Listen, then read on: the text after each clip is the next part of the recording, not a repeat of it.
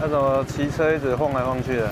没有啊，有啊，我在你后面看你左右一直飘来飘去的。没有晃了。骑士一路左摇右晃，巡逻员警立刻上前把他拦下。没喝酒吧？没有没有。旁边停一下。没有喝酒了。停一下，停一下。否认酒驾，不过满身酒气，戳破他的谎言。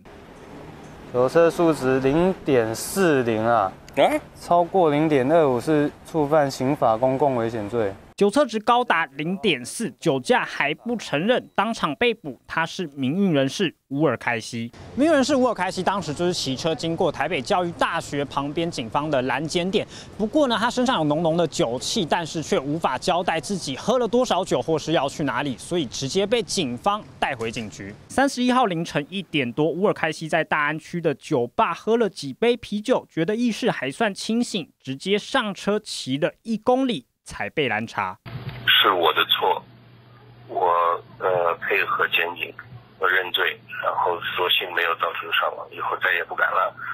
然后这是一条无聊的八卦新闻，占用大家时间，深感抱歉。在拦检的时候，虽然该名男子哦态度良好，哦，但酒驾行为哦是害人害己哦，而且违法且具有刑责，哦，任何人皆不得酒驾。